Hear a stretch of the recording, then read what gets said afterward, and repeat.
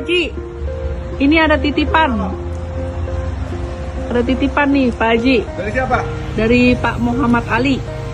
Terima kasih, terima kasih. Apaan ini? Wih, kunci mobil. Waduh.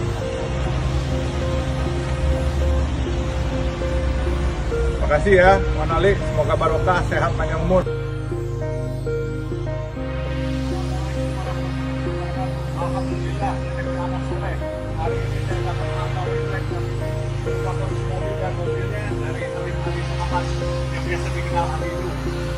dan beliau mewakafkan mobilnya untuk dimanfaatkan untuk pembangunan masjid-masjid bapak Alun lainnya dan pembukaan warung-warung nasi kuning lainnya.